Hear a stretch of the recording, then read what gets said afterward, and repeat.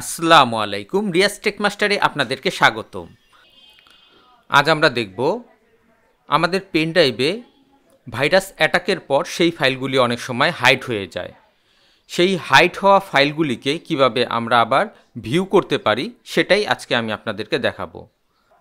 তো এর জন্য প্রথমে আমরা দিস কম্পিউটারে চলে যাব, তারপর সেখান থেকে আমরা পেন ড্রাইভে ঢুকে পড়ব। এবার উপরের ট্যাবে আমরা এই ভিউ অপশন দেখতে পাচ্ছি। এখানে আমরা ক্লিক করব। তারপর এখান থেকে আমরা অপশন নামে একটি বাটন দেখতে পাচ্ছি। এখানে আমরা ক্লিক করব। আমাদের নতুন একটি ট্যাব চলে এসেছে। এখান থেকে আমরা, এখান থেকে আমরা ভিউ অপশনে ক্লিক করব। তারপর এখানে আমরা দেখতে পাচ্ছি হেডেন ফাইল অ্যান্ড ফোল্ডার। এখান থেকে আমরা show hidden file and folder. এই অপশনটি আমরা টিকমার্ক করে দিব।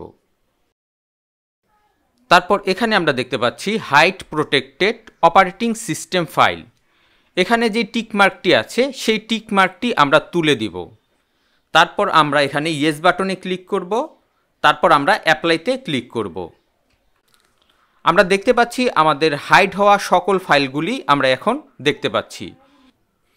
এবার এই ফাইলগুলিকে আমরা চাইলে খুব সহজেই অ্যাক্সেস করতে পারি এবং সব ফাইলগুলি আবার আমরা নতুন করে ব্যবহারও করতে পারব।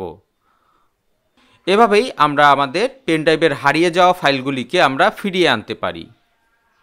আশা করি ভিডিওটি আপনাদের কাছে ভালো লেগেছে। ভিডিওটি ভালো লেগে থাকলে অবশ্যই লাইক, শেয়ার এবং কমেন্ট করবেন এবং আমার চ্যানেলটি সাবস্ক্রাইব করবেন।